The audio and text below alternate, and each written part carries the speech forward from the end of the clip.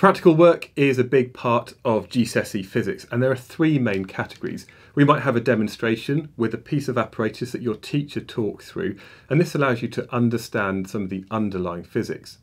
There are also experiments where you actually try and find the value of something, perhaps the density of an object or the specific heat capacity.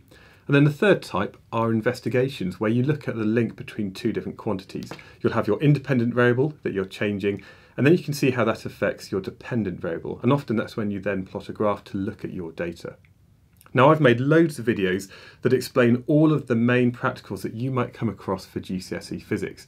A lot of these are the ones that your exam board say that you need to know about, but there are so many more that you might see when you're doing your physics at school. In each video I show you the real equipment, I look at any hazards that there might be, and then we take some data and you can actually pause the video and take your own values.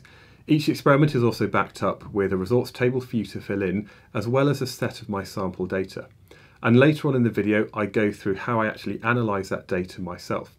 So do have a look at the videos where I go through some of the common bits of equipment and standard procedures that you need to know about for your GCSE physics.